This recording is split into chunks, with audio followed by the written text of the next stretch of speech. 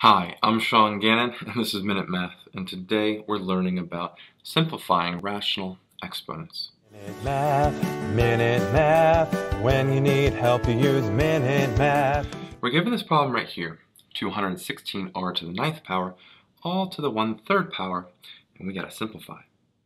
Well, we first want to distribute that exponent to both parts. So to do that, we have the 216, and it's going to be to the one-third power. Distribute that over, I'm going to do that here.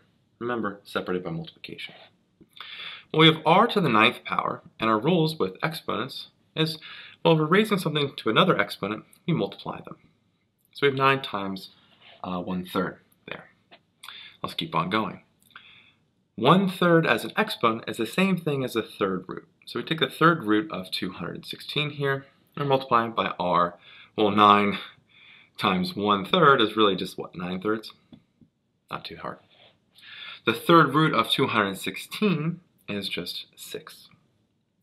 r to the, well, 9 thirds power, 9 divided by 3 is 3. So we have r to the third power. And so my final answer here is just 6 times r to the third power. I hope this video was helpful for you, and if it was, please subscribe to this YouTube channel and like this video. This helps us make more free math lessons for you and for everyone else. So as always, thanks for watching. Minute Math, Minute Math, when you need help you use Minute Math.